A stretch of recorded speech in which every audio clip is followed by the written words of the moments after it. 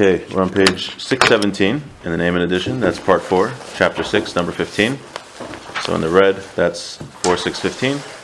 In the white, that's page 617. So 617. Oh, that one, it's um, part, okay. So it's red, it's 4, 6, 15. Hopefully, this week, we're going to finish our discussion of davening and the spiritual impact of davening. And um, just as a short introduction, just to refresh what we've been talking about, we've been talking about a lot about uh, hashbos and shefa, which is we translate it as God's spiritual energy.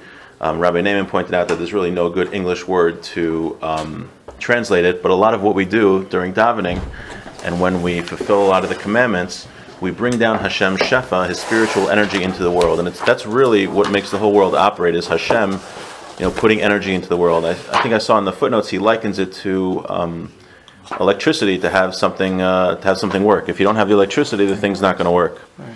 And there's different hashpos that Hashem's hashpos that hashpos that Hashem sends down. For instance, the hashpa of Chaim of life. He says that if a person gets the total hashpa of life, then he's uh, he's very healthy. His life is going well. If that hashpa were, were, to end, Hashem's influence, he would die. If the hashpa was weakened, he would have a very difficult life and be very sickly.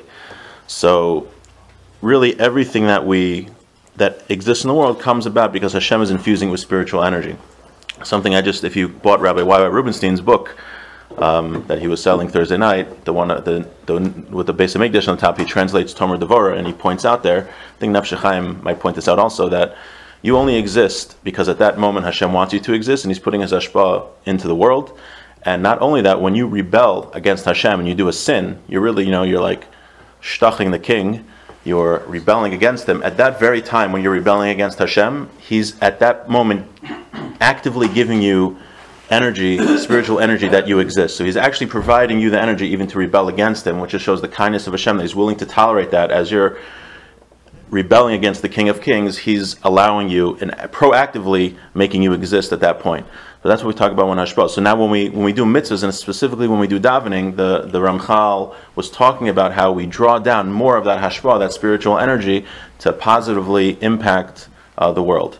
So we just finished last week about how davening Shemona Esrei and how there are very now. I guess when you get into Kabbalah, I don't know this, but you can ask the rabbis here who study Kabbalah that there are different types of hashbahs and how you draw them down. So that we're not getting into, but um, we just we did mention how davening, the way it was set up, draws down those specific spiritual influences in different ways. And now we're going to talk about. And we just finished uh, with Shemona Esrei last week, so now we're going to talk about the uh, rest of davening on page 617. Vihine,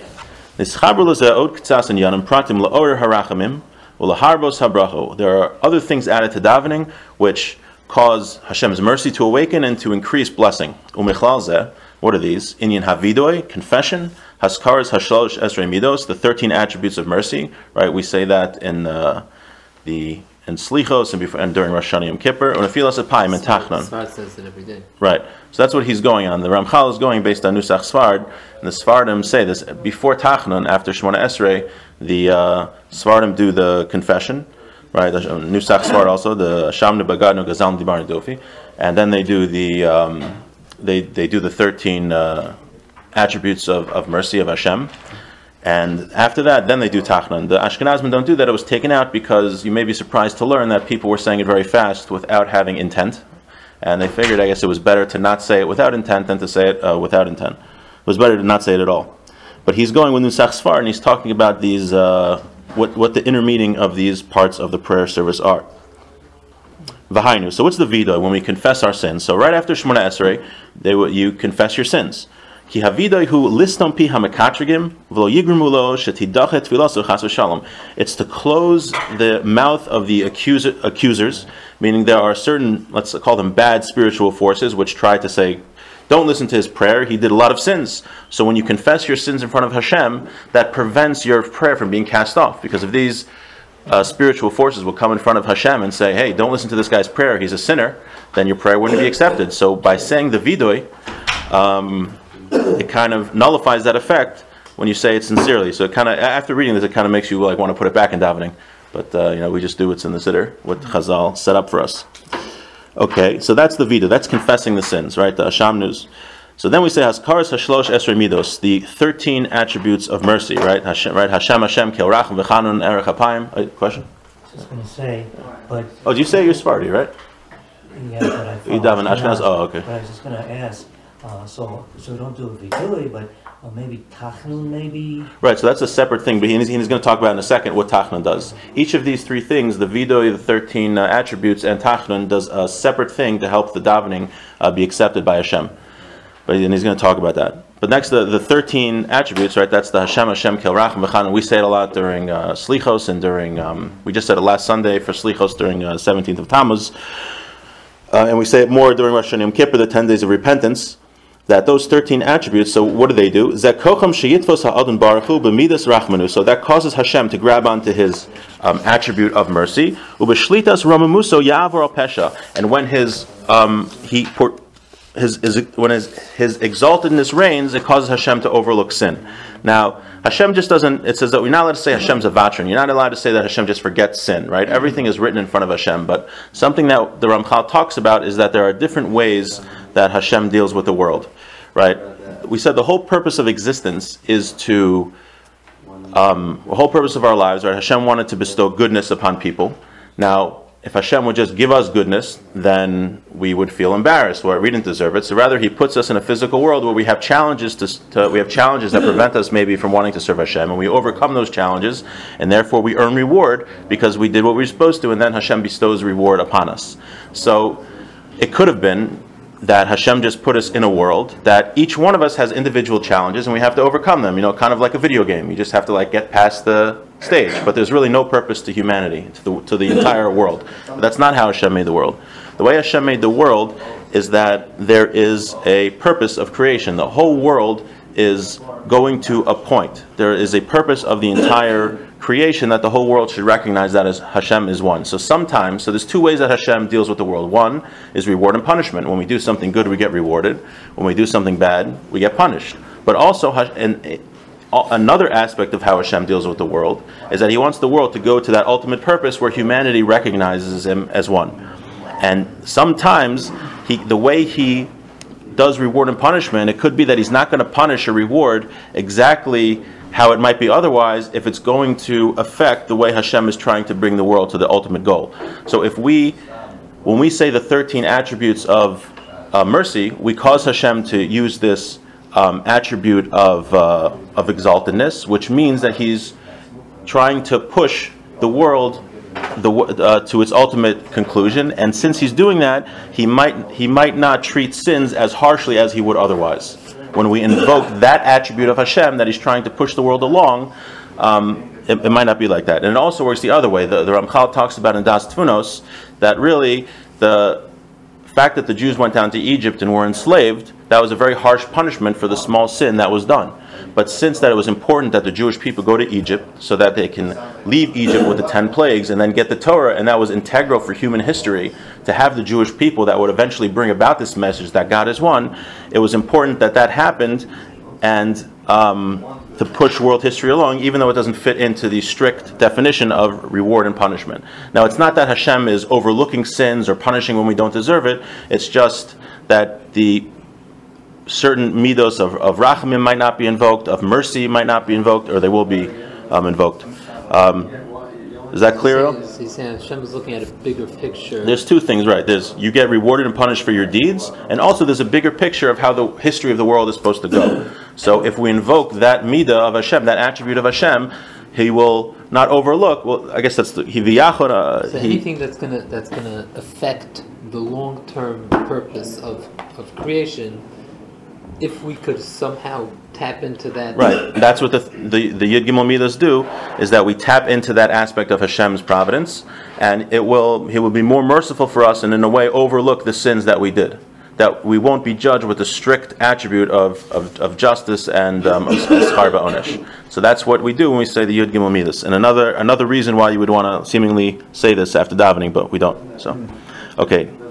And we could also, he'll be merciful for us um, if we don't have the merits necessarily. So those are the two things that we don't say. Now, what Reuven was mentioning, when a filas apayim tachnun, why do we say tachnun? We put our heads down, after Shemona Esrei.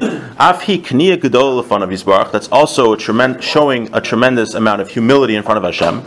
Asher kocho gadol l'shetis pious midas hadin. That it has a tremendous power to assuage the attribute of strict justice. V'kamer harachlim hagadolim, and it arouses great mercy. V'ya hashefa nimshach b'riboy over So that Hashem shefa, the spiritual energy, should come down in um, in great abundance. So right when you put you're putting your head down, right? Hashem doesn't like arrogance. He doesn't like haughtiness. So after Shemona Esrei, you put your head down and you're like confessing and you're saying the um, tachanun that is a tremendous power to humble yourself in front of Hashem and to allow all of the shefa and Hashem's um, Hashem's uh, abundance to come down. Okay. So the Ramchal continues. Ulam zehu aseder hakolel sha'alav nosta hatfila. This is the general form that um, the davening was set forth. V'yesh pratim rabim. There are many, many details. Shebehem tluyim pratei aseder b'mizmarim b'shar psukim shenitkanu al davar. Right. He's just talking about the, how davening was set up in a general sense, but there are more reasons why each verse, let's say in Pesukei D'Zimra, was put where it was, and why these specific tehillim were chosen, and why every word in davening is important, but he's not going through that now. He's just talking about the general, um, the general sense. Okay, sheteda. You have to know. The world, the let's try to finish the part of davening today. Is that okay? Feel free. You can. You're allowed to leave if you if you need to. V'tzarach sheteda. You need to know. Shehine b'sidran haga hayom mischalek l'shnei halakim. The, the day is set up into two parts. V'hu haboker, it's the morning. V'achar chatzo shehu ben arbaim, and that's the afternoon, which is after midday. V'gam halayla mischalek l'shnayim. Also, the night is set up into two parts. Like we mentioned earlier.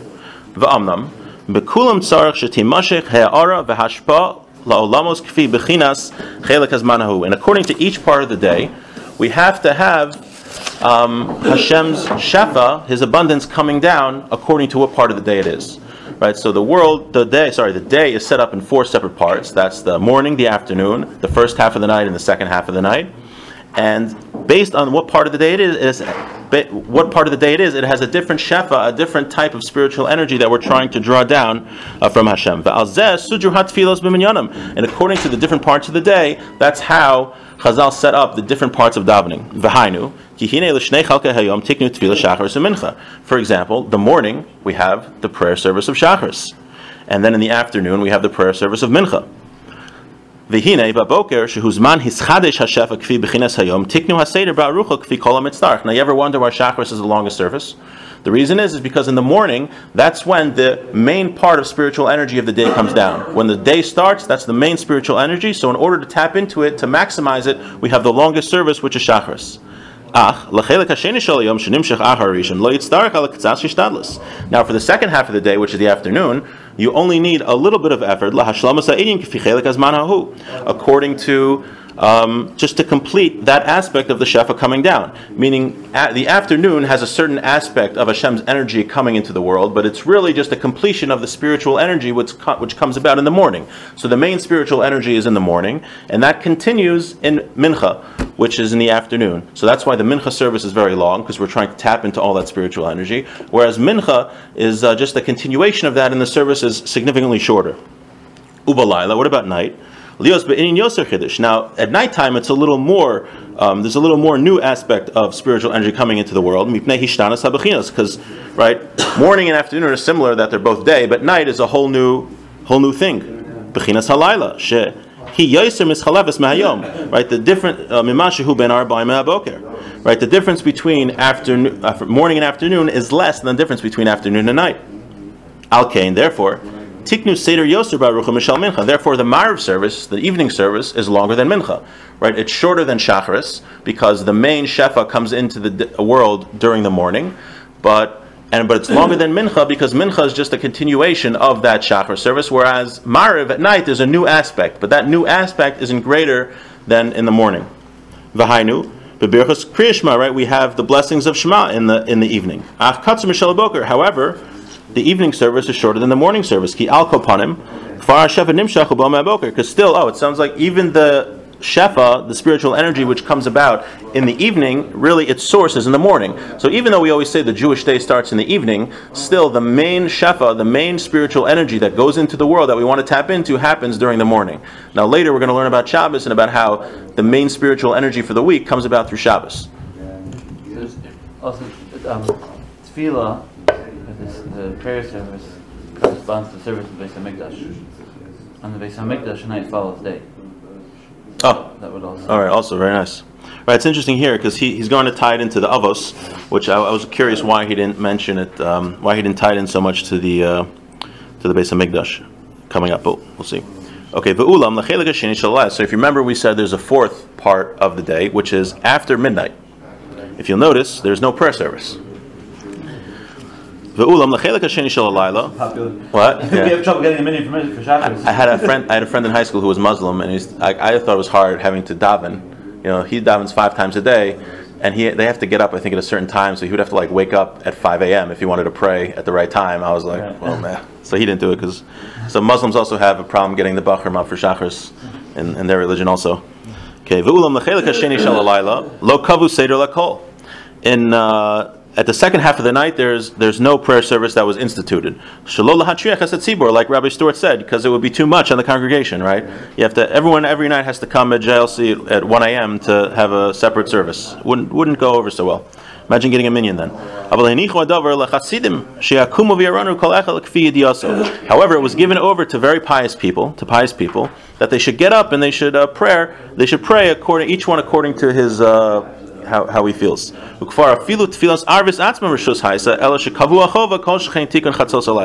He says not only that, really, um, according to the letter of law, Mariv is a rishus. It's not a obligatory prayer service. It's just that since people accepted it upon themselves, it became obligatory. But in its true essence, it's not an obligatory prayer service. Whereas shachos and mincha are. Now he's, he's going to can right. So it comes out that there is a service. Right. Again, if you've ever been to the kotel at midnight, you'll see very holy people come and they'll say this special prayer service at midnight, which is really optional for very um, holy people. And it, What's it called? it's called tikkun chatzos. Okay.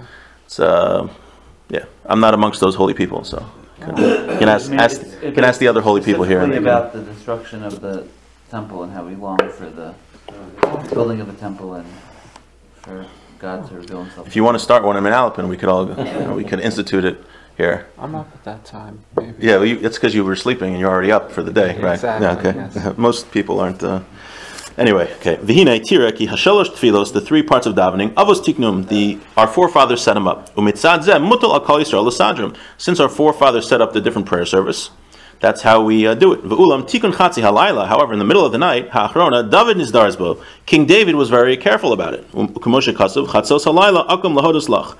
At midnight, I'll get up to thank you.